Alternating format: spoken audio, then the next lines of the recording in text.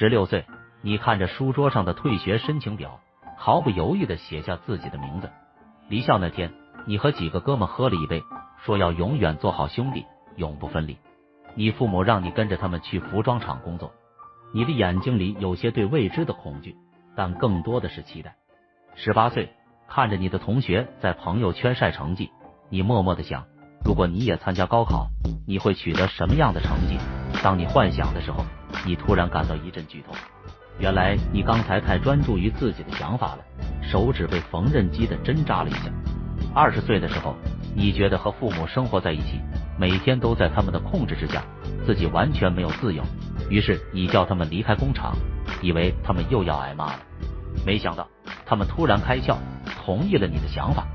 二十一岁，你在招聘平台上看了很久的学历一栏，最后填了一个高中毕业。你的简历大部分都丢了，最后找你上班的是房产中介和保险公司。为了在这个寒冷的城市生存，你开始做兼职，每天都累得要死。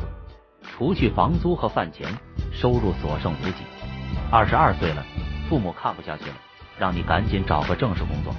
正好去年一起做兼职的朋友叫你去电子厂，你抱着试试的态度，成了流水线的一员，每天做着简单而乏味的工作。收入只比去年多一点。今年你前女友毕业了，你想约她玩，随便点开微信，发现上一次聊天是两年前。二十三岁，你在一家电子厂遇到了一个女生，她以前的生活就像一潭死水，在她闯入你的世界后，水石复活了。白天上班，晚上出去吃炒粉，感觉很幸福。昏黄的路灯下，她抱着你说不离不弃，你回答她生死相依。二十四岁回老家，每隔一段时间就有媒人来你家，在父母的压力下，你不情愿去和其他女生相亲，而你想着远处的他在做什么。当家人让你和女朋友分手的时候，你宁死不屈，却觉得更爱他。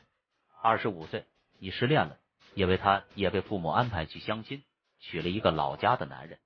刚开始你心不在焉，工作中经常出错，最后你不得不辞职。你向电视上的人学习，把自己这几年微薄的积蓄拿出来去大理。朋友圈的同学也开始晒旅行照，不同的是，他们工作好，收入高，去了不用掏空钱包。